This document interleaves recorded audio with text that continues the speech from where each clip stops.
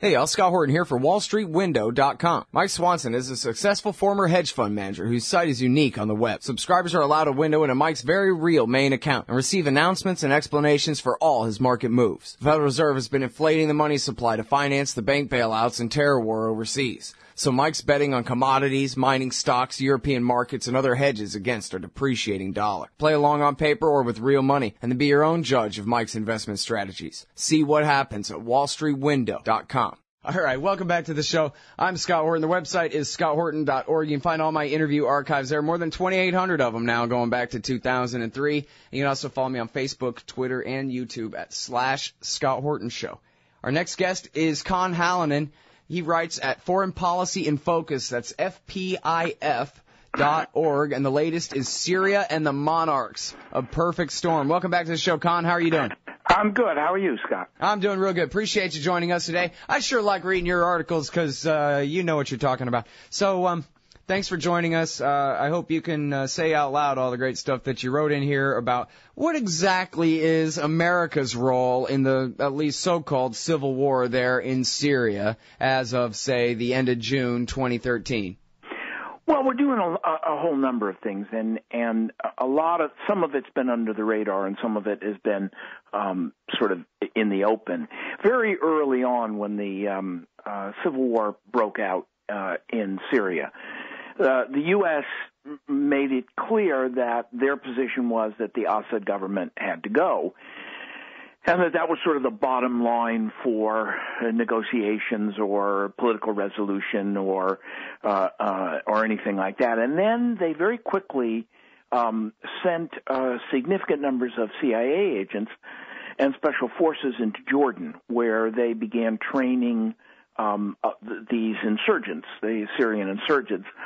Um, and they also uh, encouraged uh, the Gulf monarchies, particularly Qatar and um, Saudi Arabia, to begin supplying arms to to the rebels, and they did that one by encouraging them to do that, and then two, negotiating with the Turks so that a, a lot of the the the the arms now come uh, in through the Jordanian border in the south, and large numbers, uh, most of them, come in um, through the Turkish borders in the north.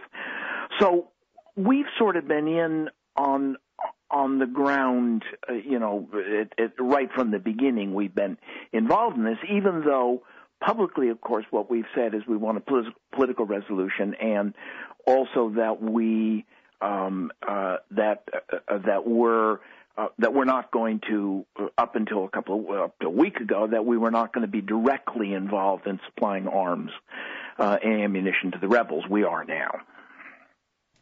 Right. And now, you know, I, I always wondered about what was even really the point about just having the Saudis and the Qataris do it? Because it wasn't very plausible deniability for anybody who was interested in it. Obviously, the whole dang thing was a CIA op, or at least we're involved enough uh, with the Saudis. We certainly weren't telling them to please don't or anything like that. And as you're saying, been coordinating them and, and trying to create, you know, American owned rebel groups in Turkey and Jordan this whole time. I guess successfully creating some groups in Turkey and Jordan this whole time. But so if they've been that involved all along, what is the point of just having the Qataris buy the guns for us and we'll pay them back or whatever? You know what I mean? Well, actually, the Qataris are, are buying them on their own. They're, um, you know, they're immensely wealthy. They're they're uh, per capita wise, they're they're the wealthiest country uh, in the world.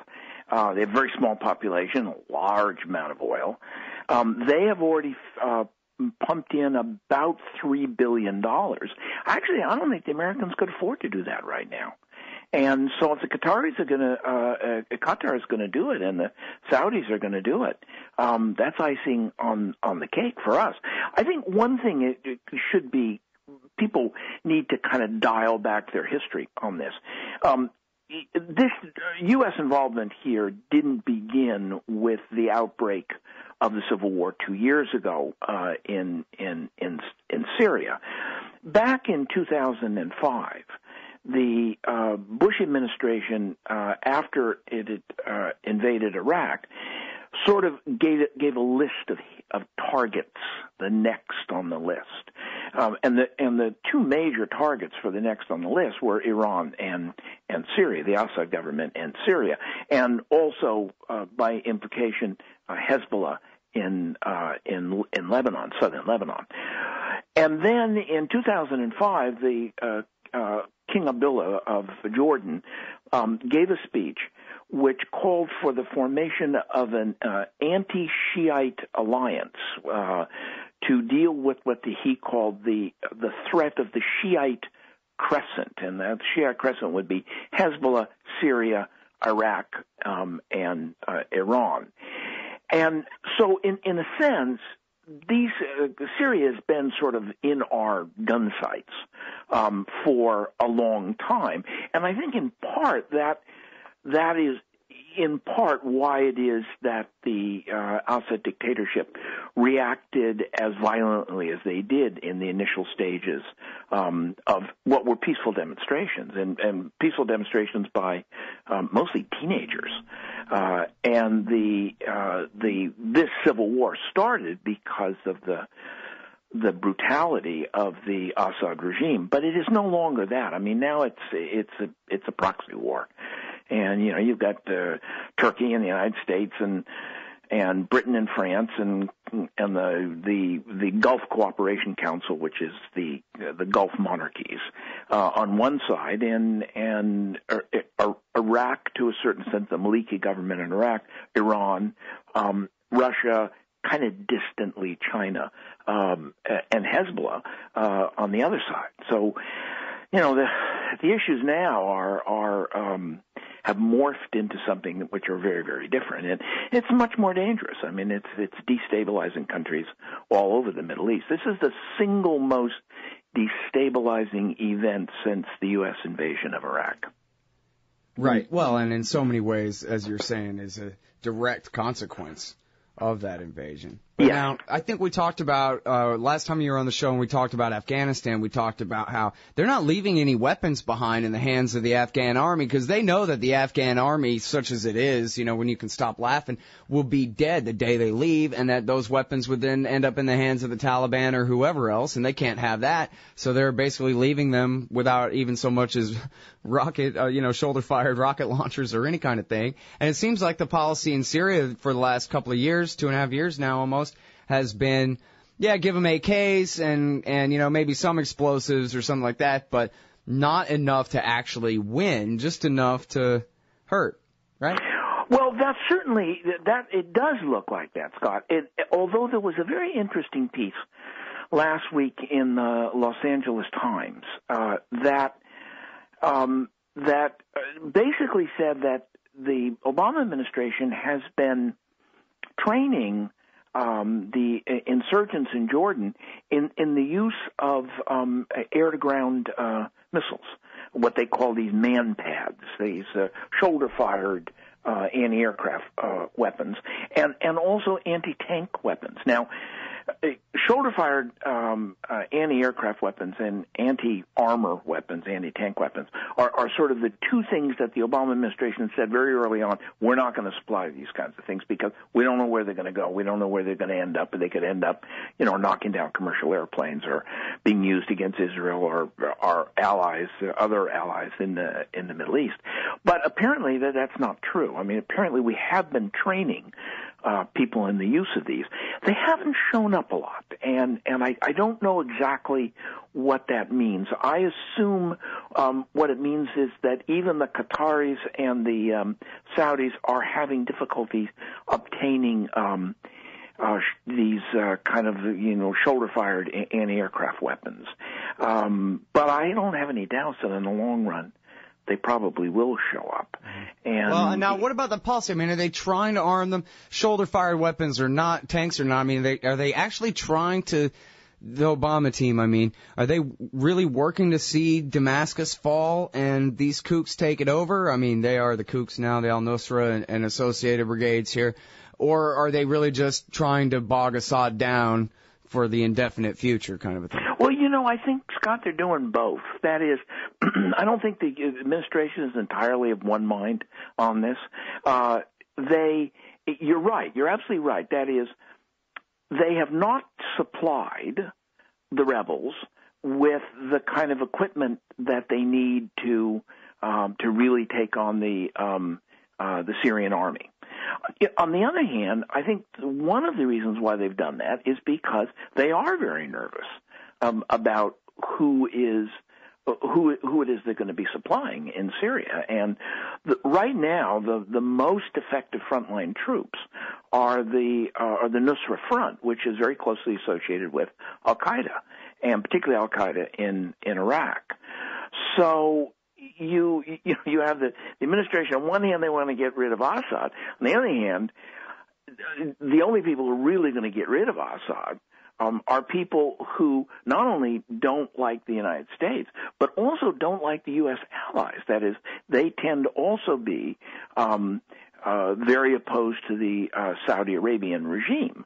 Um, you recall, Bin Laden got his start uh, setting off bombs in Saudi Arabia, and and he started off denouncing the Saudis because um, the Saudis allowed Americans um, close to the holy sites uh, in in uh, in Saudi Arabia. So, I mean, it, it's it's an absolute mess. I mean, we have, you know, we have set loose in the Shakespearean fashion. We have cried havoc and and uh, and set loose the dogs of war. And the dogs of war in the Middle East are well, they're not only really dangerous, but they're also all over the place. And and we don't control them. And I think the the administration is in a in a position of where it wants to overthrow Assad. Um, and it initially thought that all they had to do was push a little bit and Assad would fall. That's what the Turks thought as well. Well, it hasn't turned out that way. And now they're kind of stuck and they won't sort of bite the bullet. And you know, the bullet is um, that you you essentially say, look, if you want a peaceful diplomatic resolution, you can't tell people what the outcome is in advance. I mean, you can't say, yeah, we want a diplomatic solution. Assad has to resign. That's not negotiations. Um, what you have to say is, we need to get all the parties to sit down and talk about get a ceasefire, stop the flow of arms from everybody, um, from Qatar, Saudi Arabia, United States, Turkey, Russia, Iran, etc. Get a ceasefire, and then we've got presidential elections coming up in 2014. Let's see if we can't work some sort of thing around the presidential elections in 2014. If Assad doesn't have any support in the country, let him run for president guarantee that there will be uh, access for an opposition, and we'll have a political resolution. Well, and that's but they're the problem not right making there. that decision. That's their problem is they know if there is an election that he will win if the opposition I'm, see, I think is. you know that's what they're that's what they're discovering. I mean, they're discovering two things. Number one, Assad always had more support than they projected that he had, and then two, Syria Syria is a secular country and has been a secular country for a long time. So these insurgent groups, not all of them, but the, the key insurgent groups, um, they, the, the, the secular Syrians are horrified uh, by who these people are. It's not doesn't mean they support Assad. It means that they would caught between the devil and deep blue sea. Um, they would rather go with what they have than than what they fear um, from these, um, you know, Islamic extremist groups uh, in the future. If it came to an election, you might find that a lot of those people would say, well, okay, we want the end of the civil war. We'll support Assad, but I won't necessarily vote for him. I'll vote for another candidate. The only way you can do that is by getting a ceasefire and stopping this idea that you're going to um, kind of shoot your way uh, into a into a diplomatic resolution. It's not going to do it. But I, I, you know, Scott, I, I, I'm an incurable optimist, but I got to tell you, I'm pretty pessimistic on the way this is going to end up. I mean, I, I see this going on for a long time, and I, I don't see the United States really being serious about a diplomatic resolution. And Uh, and I, I just think it's gonna, I think it's gonna drag on, uh, maybe for years. Well, you know, here's the thing. Um, it's sort of kind of all on purpose, right? I mean, I just talked with Fred Branfman and we were trying to tally up the body count of the American empire in the last 40 or 50 years or something like that. It's a big one. Yeah, it, it, it is a big one. But, um, you know, a big part of what happened in Iraq, as he mentioned, was that Douglas Feith and uh, Paul Bremer decided that they would disband the Iraqi army and Right. police force and let them eat sand. Right. And and that the occupy now look, it's easy, always very extremely easy to consider Feith just really bad at being a person and and anything that he's ever done is always horrible. But you know, I don't think you got to be that kooky to think that this is just what the Yinon plan, if that's how you pronounce it, from uh, back in the early 1980s, that the right-wing nationalist Likud party and worse in Israel would like to see all of the Middle East broken up into warring tribes instead Yeah. of nation states that they would ever have to worry about again. Sure. And so what's going on here is Doug Feith doing their dirty work in Iraq, and you know you're right that uh, obviously Iraq has fallen into pro-Iranian hands and, and and Shiite hands and whatever. So much the better for long-term, uh, low-level intersectarian conflict and butchery, murder, and everyone will be leaving Israel alone in the meantime, and I guess leaving the kings of Saudi Arabia alone so that Houston can have their way too. Well, I mean, I you know that's a very that's an absolutely valid way of looking at it, Scott, because um, the, the, certainly the Israelis have always taken the, the point of view that uh, ruling you can rule from either you rule with dictators who are close to you, like like uh, Mubarak in in Egypt, um, or chaos. And if you have chaos, then you don't have any organized um, resistance to to Israel. And I mean, perfect example: Palestinians have dropped off the, you know, dropped off the front pages.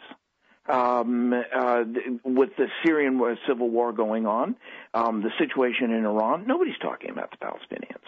And the, the, Netanyahu government continues to build more settlements, continues to deepen its uh, grip on the uh, on the West Bank, uh, and uh, you know, at this point, Lieberman was talking about that they have to go back into Gaza, and uh, the pretty open talk about the fact that Israel would like a rematch with Hezbollah um, in southern Lebanon at some some point in the next year or so. So I, I mean, I do think you're right. I think that uh, if you have the kind of chaos that is likely to flow from a continuation of the Syrian civil war, um, I, I do think that, that what that does is that it, it creates uh, a very fertile ground um, for being able to manipulate the politics of the region. I mean, I yeah, absolutely. I mean, Well, you know, ruling from chaos is a long, long time. Uh, long, matter of fact, it's an old British tactic. Right. Well, and you know, if your goal is chaos, and you don't have to be very good at it either. You, you know, if your goal is screwing up. So I don't think that, you know, when they wrote the road to Damascus runs through Baghdad and all that in the clean break strategy, they didn't think they were going to be handing over two thirds of Iraqistan to the Shiites in, in alliance with Iran. You know, they thought, hell, I mean, if, if they believed any of their own nonsense, they thought that uh, a Shiite democracy in Iraq was going to put all this pressure on Iran where we wouldn't even have to regime change them because the people would love us so much and want to be like Iraq now and whatever. I think Wolfowitz actually really believes some of that nonsense anyway, but it doesn't matter how bad they screwed up and that Chalabi was an Iranian spy all along and whatever, whatever, because, uh, oh well, so just, we'll just have more war then. Well, I mean, I think it's true. You know, you you you uh, it, it, we don't pay a cost, um, uh, or or we pay a small cost. I mean, in a sense, I guess you could look at 9/11 and say, well, that's a cost. Um, and we pay a cost in places in in in the dead and wounded in Iraq and and in Afghanistan. Um, but you know, it's not it, it it's not a massive. Um, uh, it's not a massive bill, although financially it's a massive bill. And now, you know, the Obama administration has really gotten this thing of, you know, no boots on the ground. We can carry out a war uh, by killing at a distance, uh, the drone wars. And, uh, and it's a, it's a cheap way to to run war. Um, it certainly produces chaos. Um, it, it it makes things worse. Uh, it certainly has made things worse in uh, in Afghanistan. I mean, one of the effects of the drone war uh, people think of the drone war only in Pakistan. In fact, it's going on in Afghanistan as well. One of the effects of, of the of the drone war is that we've knocked off a, a significant uh, section of the Afghan uh, top Afghan Taliban leadership, and so now what you have is this fragmented organization that you know kind of whose politics vary from valley to valley. I'm not quite certain who they're going to sit down and negotiate with uh, in, in the end. And but this is you know this is a, a problem we created.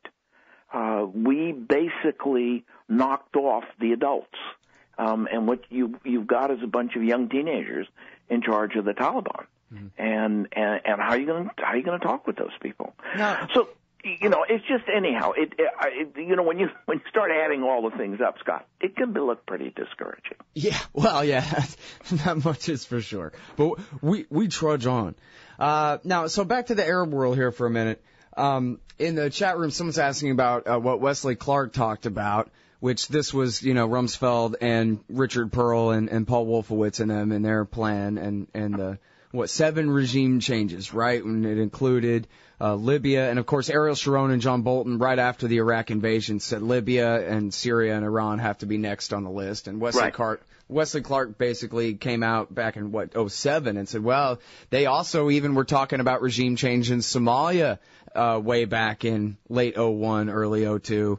Um, and then there were a couple of more on the list. So I guess the question then is, so the Yinon plan makes perfect sense if you're a right-wing Israeli nationalist uh, and you just want to, you know, break the whole region up into warring nation states. But what exactly, or I don't know, is there even a consensus view in in DC, or was there about what the hell they were trying to accomplish? Were they trying to turn all of North Africa into chaos stan as well? I mean, it seems like having Hosni Mubarak run Egypt is preferable to having, from the empire's point of view, is preferable to having chaos or even the Muslim Brotherhood there, right? Well, you know, I, I think that uh, when you the question you ask, you know, is there one point of view in D.C. and, and I, I think that there probably isn't one point of view uh, in D.C.